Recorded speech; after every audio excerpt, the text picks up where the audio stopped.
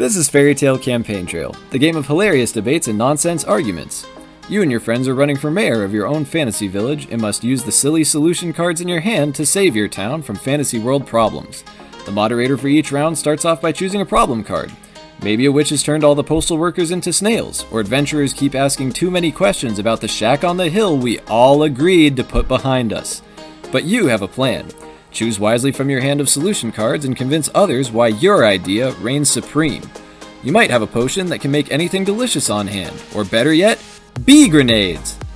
The moderator also has a role to play. Choose a round modifier card that puts a twist on the other player's arguments. Change the way your friends debate, or switch up the rules entirely to keep them on their toes. Once all players have made their arguments, the moderator chooses a winner, and a new round begins.